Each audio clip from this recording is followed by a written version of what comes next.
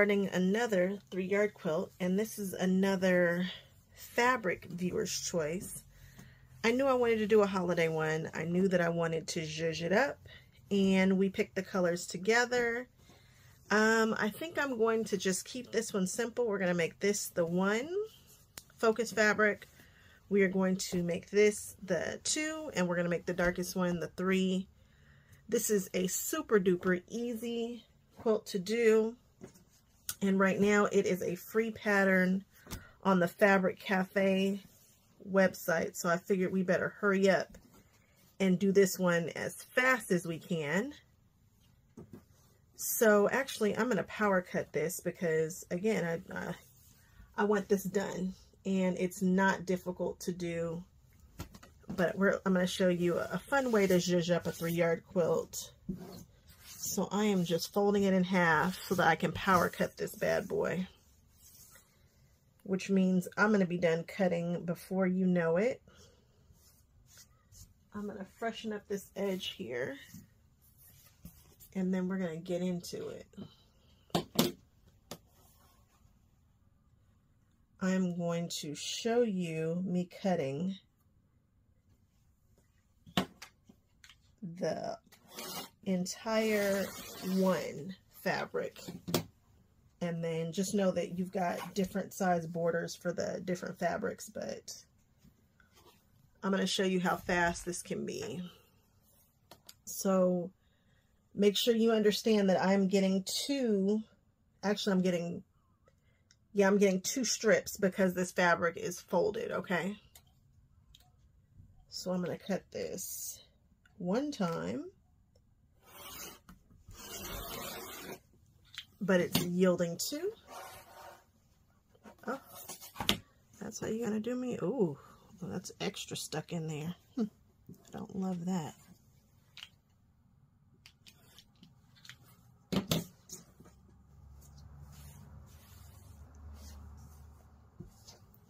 So I've got two strips here. Let's do this again.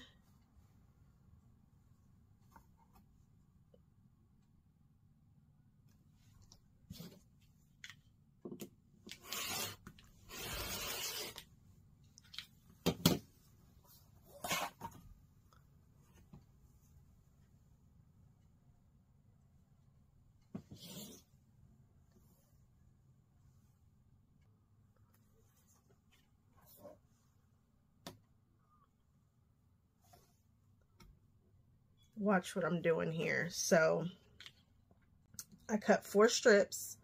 Now I'm getting ready to cut five border strips. So that's two. We're going to get four.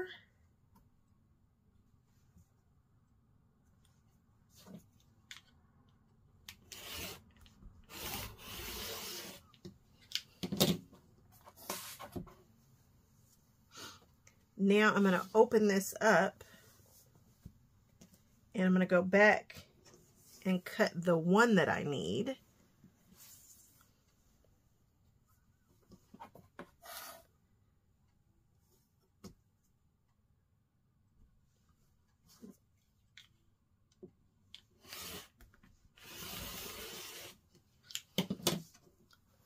I just need one of those and I just need one more of these.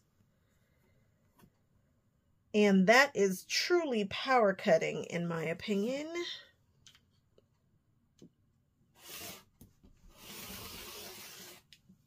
And this is how much we have left over.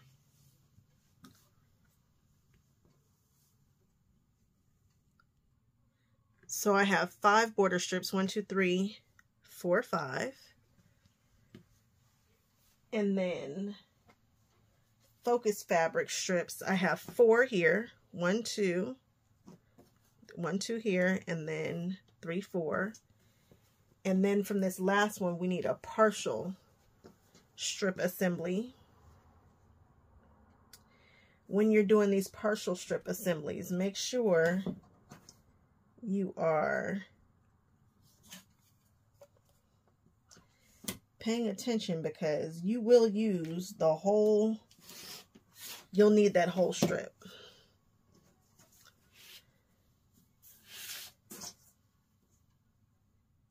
And it looks like I have enough.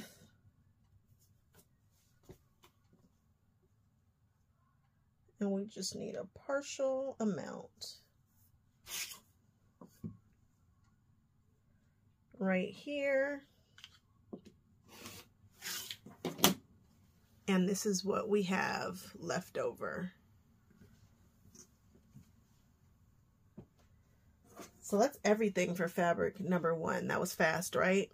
I'm going to go on ahead and cut fabric two, which is very similar, and same thing with three again. Free pattern, not a difficult quilt to cut out at all. And for the last one, I am not doing binding, so I have way more left over. I could have chunkied up this border, but whatever.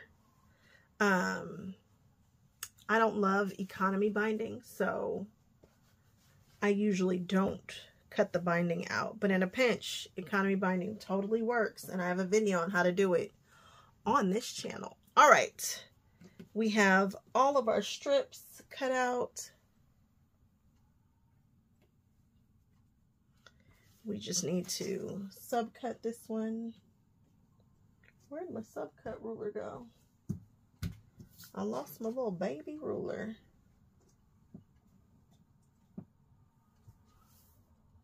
All right, so everything has been subcut. We have got border strips in every color. We have large strips in every color. The same amount,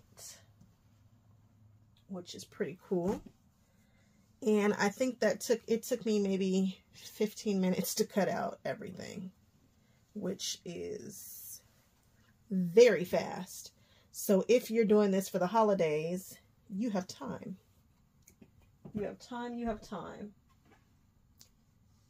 We've got this partial strip here. And some bigger border strips here such a sophisticated palette. I don't know why my mother was not feeling it. We're going to make her love it. All right, here's the fun part and the super easy part. We're just going to make some strip sets. I'm taking the borders away. And there's a pattern to it, and it's very simple. So we are going to grab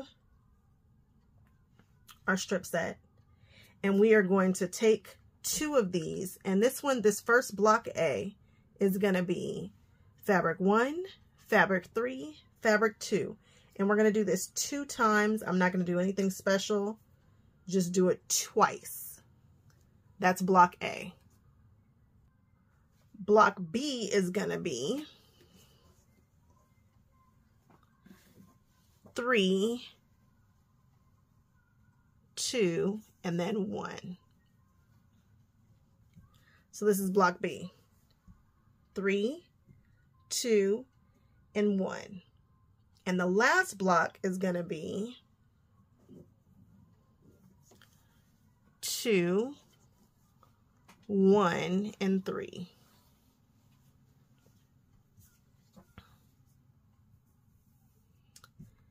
And you're just going to make one full one of these and then one partial one of these. So the partial strip was the one I just showed you guys, which is this. The other the other blocks get two sets, but this one's going to get a little guy. And then we're going to subcut it. Super simple, super fast.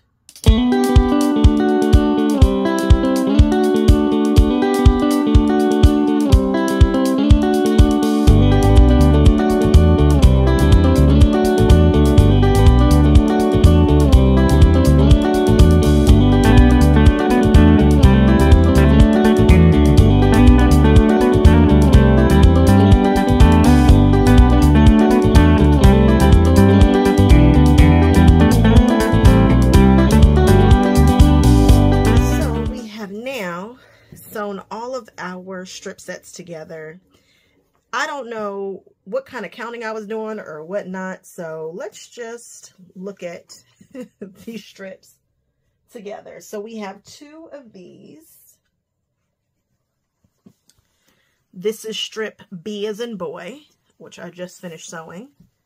We have one whole C. Really should put these in order for you guys, right? That just wasn't smart. Okay, C. And then we're going to do a partial one of C. It's going to get a little baby, a little baby guy. And then we have two of A. Now let me show you how much fabric I really do have left over, excluding the little bits. And this feels more reasonable. It's not a whole lot. It's just, that feels better than what I, I don't know. I don't know what kind of counting I was doing. So just make sure you count. This is not super difficult. You need two of these, two of these, and one and a quarter of these. Not, not difficult. I just want you to get it right. I don't want to be, you know, making you think that I'm doing something funny over here. No funny business happening. All right, we are going to press all these seams open, then start subcutting. Something else I wanted to show you guys, make sure that you're starting your strips on the same side. I know that some people say sew down and then sew back up the other the other side to kind of make sure that you don't get bowing. But for this, because you oftentimes need every ounce of this, you know that it's going to be jagged at one end because you've got different um, different brands. And so different brands, the fabric is different, blah, blah, blah. So again, just be sure to start on the same side, okay? Oh yeah. And for your little guy, you don't have anything to waste here. So if you cut it down to the dimensions that they suggest you do, you need this whole guy. So you're going to want to make sure that you are sewing clean and that your back end and your front end are going to end right at the same place. So you don't have to worry about uh, trimming up or squaring up. You need all of this if you don't cut a little extra. It is subcut time. So now we are taking these strips. They've been pressed open. They are laying beautifully flat. And we are going to just subcut and we're trying to get 12 out of each strip. So hopefully I make it because I did have to take off the selvage end. I'm sorry, not 12 out of each strip. That math was not mathing. Um, I need to get 12 total out of both strips. That math makes more sense.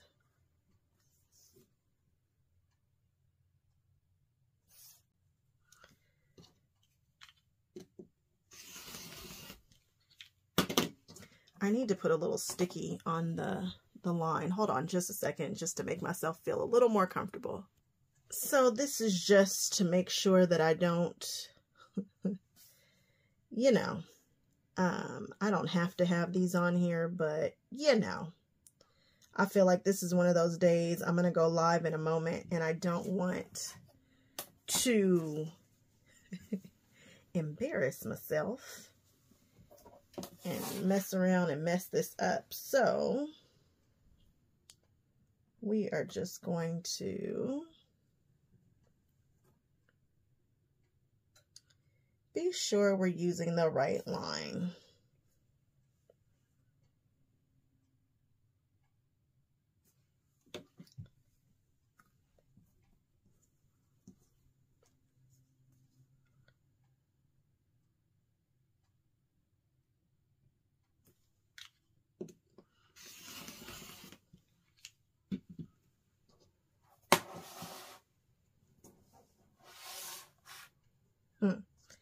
I was nervous. Did you guys feel the nervousness? It was happening because I wasn't sure if I had enough to get what I need and still, but I do. Have plenty.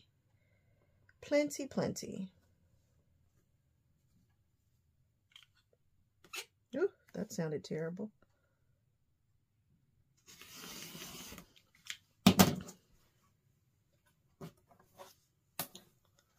One, two three, four, five, and six. We can breathe. All right, after this, it's smooth sailing. Okay, now that we've got some of these cut, I'm going to show you the layout. Block A, which has the focal, not the focal, but the fabric three in the middle. Four blocks across the top. One, two, three, and four. That's block A. Block B has on the right, on the left-hand side, the fabric number three. So one, two, three, and four. In fabric C, we only have two of these guys, but we are going to place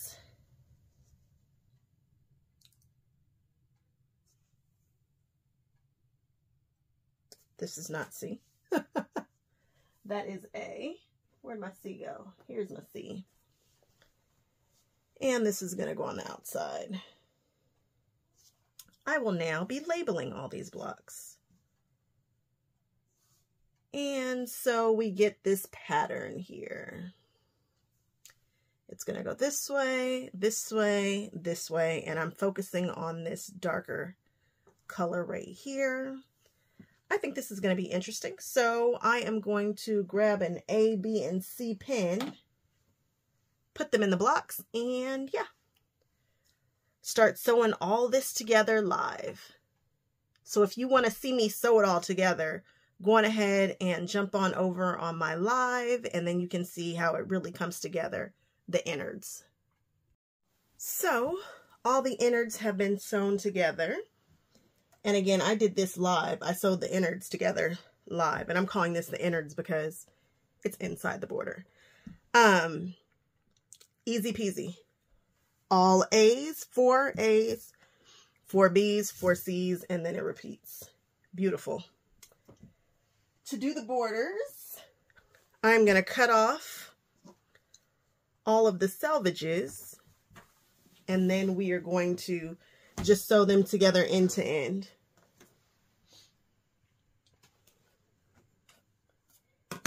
And then the deep plum is going to go first. Then the pretty number one is going to go second.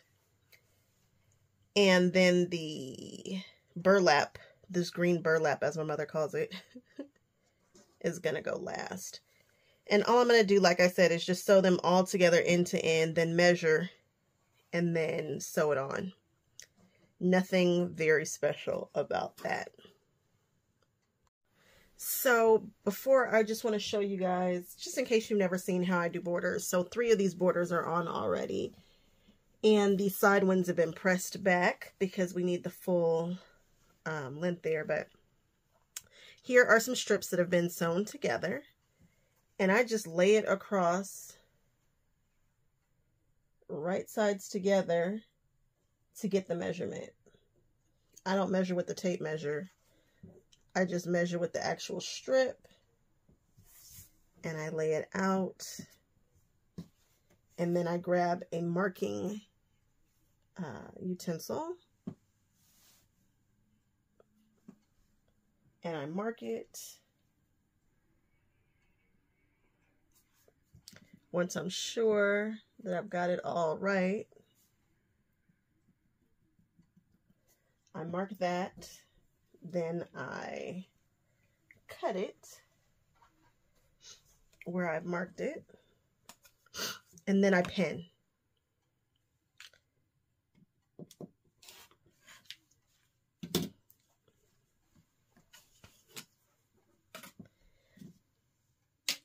I fold it in half. Actually, first I'm going to fold it in half. So I've cut this. I'm going to just fold it in half. And I'm going to mark the halfway point right here. I'm going to lay that halfway point. 1, 2, 3, 4, 5, 6, 7, 8, 9, 10, 11, 12. So between these two, I know is my center. I'm going to lay that right sides together and pin it.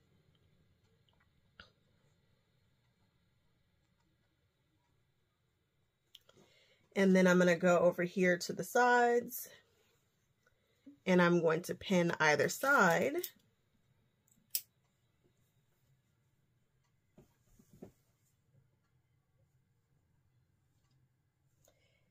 And because I have all of those seams on the other side, I will be sewing with this, the border strip down on the machine because I don't want to have to worry about flipping all of these little, um, you don't want to be flipping the, the seams. Okay, so after I've done that, I'll usually grab two Wonder Clips. And while it's laying flat, I will just, I'm going to flip these upside down because this is going to be on the machine. I grab two on that side, and that's cool. And then we lay this flat.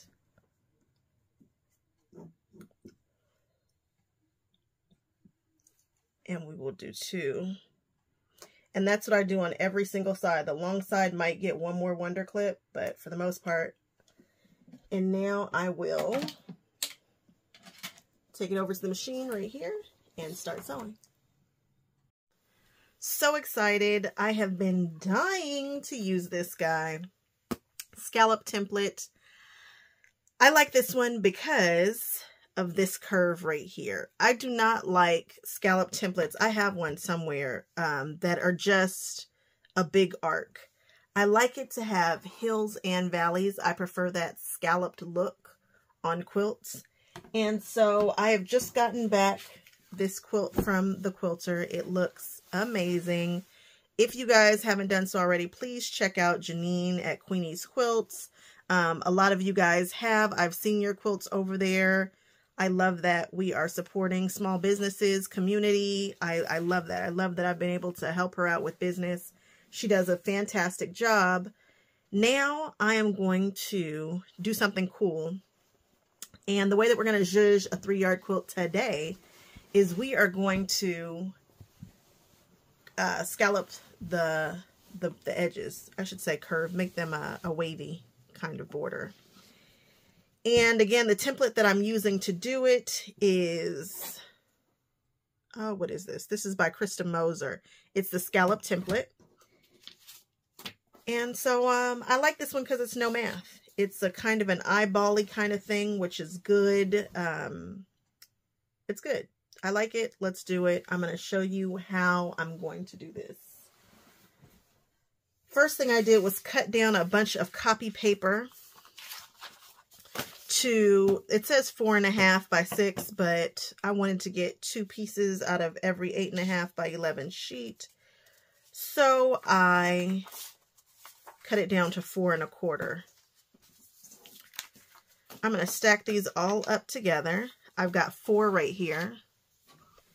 And I'm going to take this curved template, the curved side, and I'm just going to line these up. And I'm going to place this just like this.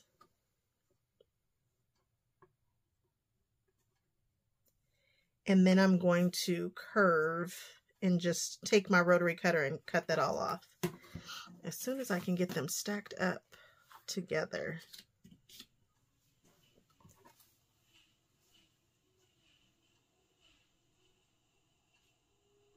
That looks good.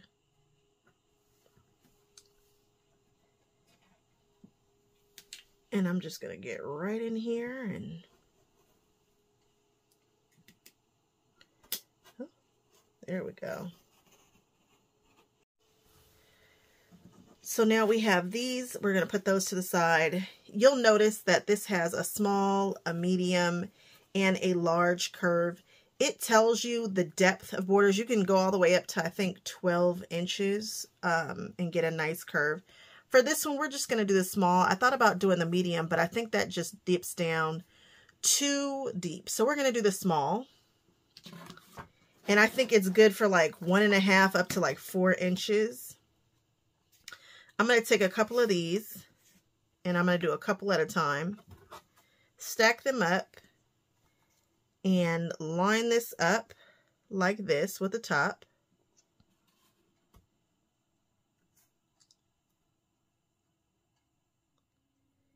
And I'm going to just follow the line.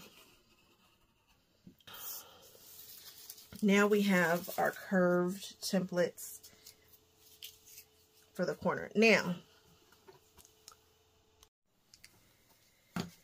now we have all of our pieces cut out. For these side pieces, for the corners, I'm just going to take them and fold them in half.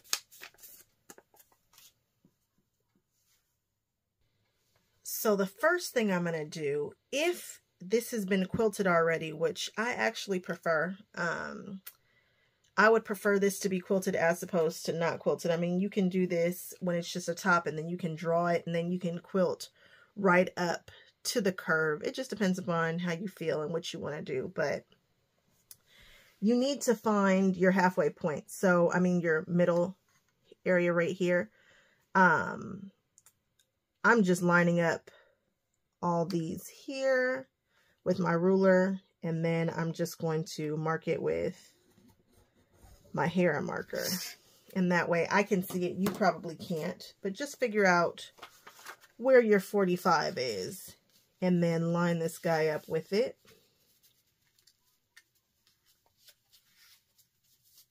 And make sure that this tip right here is just touching the outside and it's lined up on that line. And then put a pin in it. Do that for every corner.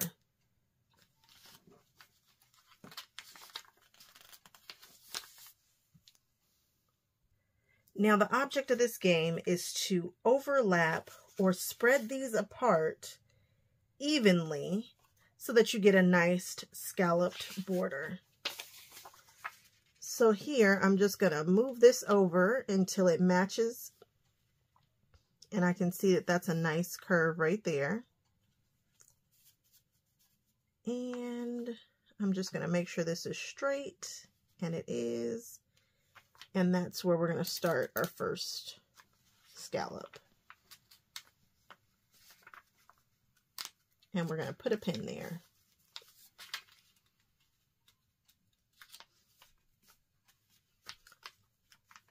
and it's nice and continuous. I like it. I can see where it's coming down. It's just dipping into this. Now that's one thing about my borders. Most people would do this on a border that's one color all the way out to the end, but I thought that's boring. So I like the fact that I'm going to have some striping in this. It'll be a little different, but is it even mine if it's not different? I brought you over to the big ironing board because I want you to be able to see this all laid out. So again, this is not difficult. This is not math heavy or anything. This is all about kind of just looking at it. It's a curve. It's not going to be a huge deal. Just trust your gut. We've got our corner pieces pinned in the corners. Then we have the next piece, which is going to be the one that is sloping down. It just continues right off of that curve. Now I've laid out all the pieces that I can fit bum hill to hill, valley to valley, right? And I can tell that there's one more space right here. So I could try to put another one in there, which is not going to work because I'd have to put another two in there. So instead, what we're going to do is we're going to space these out as evenly as we can. And you can space these out to about an inch and still get, still have some action here. And we are just going to keep pushing these until I've got, I think I'm going to need about a half of an inch between all of them. And when I feel good about the amount of space that I have, I will pin them. And that's that. and that's, it's, it's just that simple. So that looks even. I'm trying to make sure that the space is even between all of these. And yes, I could measure it, but I'm really just going to eyeball it because this is a very, it's more forgiving than you would ever think. It's super forgiving. All right, that feels right. It feels good. We're just going to follow that along. Now, if I were doing this and it wasn't already quilted, I would just mark it. Um, I still might mark it. I could. Uh, I could mark this with a pen once I've got everything pinned in place. But yeah, it looks like I'm doing about a half an inch everywhere. No, it's less than a half an inch. It's more than a quarter, maybe three eighths. One, two, three. About three eighths. Yeah, so we're looking at about three eighths between all of these. Cool. I'm pinning it. Then I am going to mark it, then cut it away, or I'm just going to cut it away. Then we'll do the same thing to the other side, and then we'll do the sides. Something I was just realizing is that I cut this at about four and a quarter, and that is actually perfect because that's pretty much what this border is measuring. And so this whole thing shows me that if I line this, this paper up with this border right here that attaches to my innards, it's I've got action. So you might want to think about cutting your paper six by the width or the depth of your border. It just helps me keep things straight. Like I know this is straight because it's sitting right here on that sewn line. So we have some options here about how to cut this away. You can mark it with a pen, but because this has already been quilted, it's not a nice smooth surface. So I'm just going to use my template here and get to cutting. I am not going to freak out. It's not that serious. Again, very forgiving method. So I'm just going to start here and just follow the curve. I am using this upside down right now. And you see how this curve, it starts here and it goes and because it extends out, I'm still, I've still got action right here, which is perfect. And I'm just going to cut it. Again, we're not going to freak out. I'm starting at the top. I can see that it's all lined up. These two look good. We're just going to cut it away.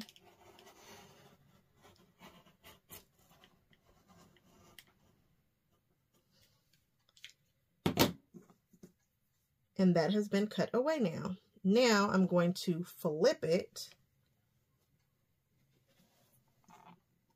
and finish that curve. Lining it up with the paper.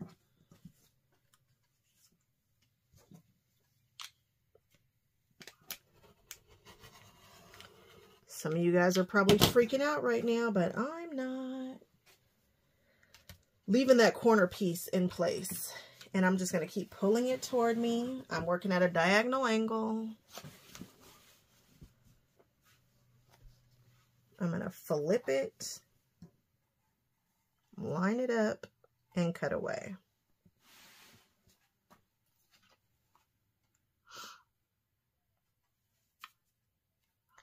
I'm making sure that this is straight. These are straight. Perfect. This is such a cool way to zhuzh up a quilt.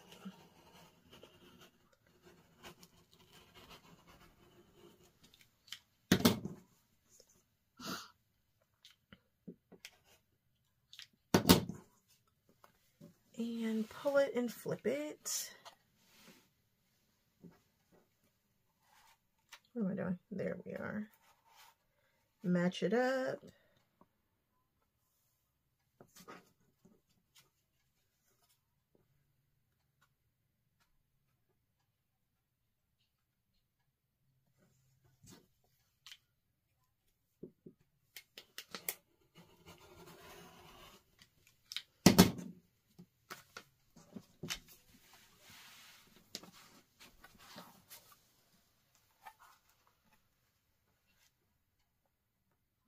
It does not have the, it doesn't have the, what is the stuff called? The, um, the gripper on the other side. So just be mindful of that.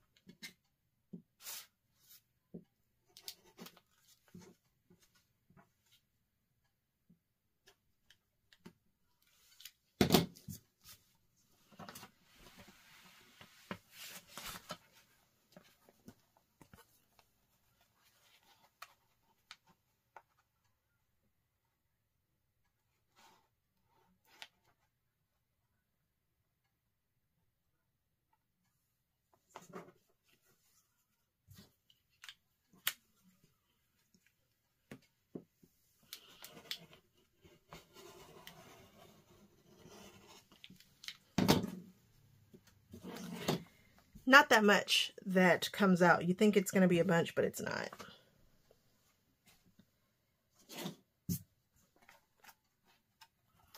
Now I'm going to do the same thing to the other side. Just in case you want to see what it looks like before I pull the pins out, that's it. I am going to leave the corner units in and then we will keep going to, I'm going to actually do the opposite side and then I'll do the sides. Now I'm at my last little bit here. and this is this curve. And I just want to show you guys with these curves. Don't come all the way around here. Just stick to right there. Be careful. Um, I'm going to pull this paper here. There we go. So I can see this better. And again, guys, this is super forgiving. Do not freak out. Do not feel like it has to be super duper exact. It doesn't. It's It really does not. Um, just do the best you can. And I'm just taking off that tip right there. And the rest will stay. And there you have it. All right, now to bind. Okay, so for binding, we've got to make it bias binding. And so I bought a half a yard. No, was it a, yeah, I think I bought a half a yard of fabric. And I am going to trim this up and then I'm going to show you guys how we're going to make it into bias binding. So for this, we're going to do, we're going to use our bias tape ruler I just have a square. I've already chopped up the other half of the fabric. And all I'm going to do is just keep cutting this at a 45 degree angle. And then once I have all my strips, I will sew them together and then we will have bias tape, which will be stretchy. Again, all you need to do is instead of cutting it straight, you're just going to cut it on a diagonal. And so I'm going to take this first cut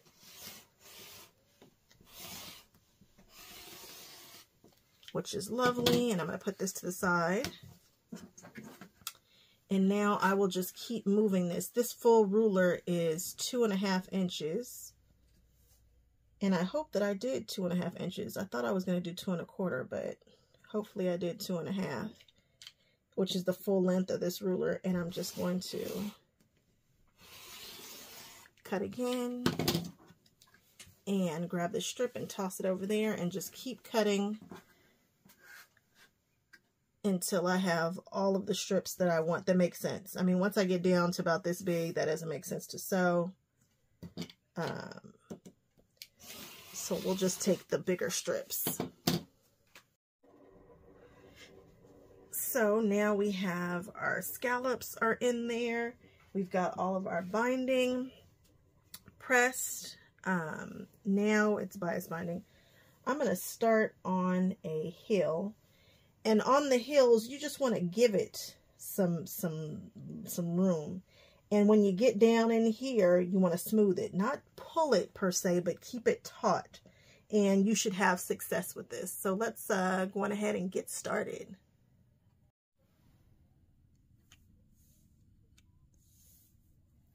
So for the curves and the humps and whatnot you're just going to pretty much do it like you would usually, but right now we are in a ditch. So we're just going to pull it, not really stretch it, but we're going to pull it taut in this ditch.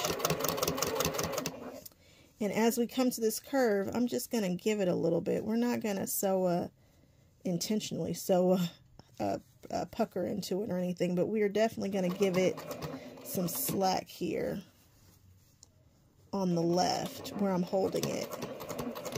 I'm just holding it a little bit more loosely. And I'm pushing it right up against that guard because you know I sew with the guard. But I'm making sure to give it some room to breathe over here. And that's on the hill. We let it breathe on the hill. And we're just gonna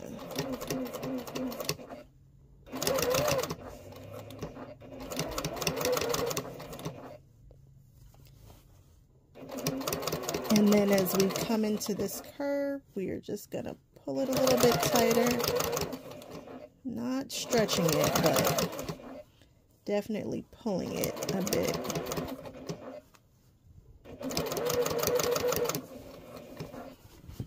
And now we are at a big curve. This is the corner. And we're just gonna give it some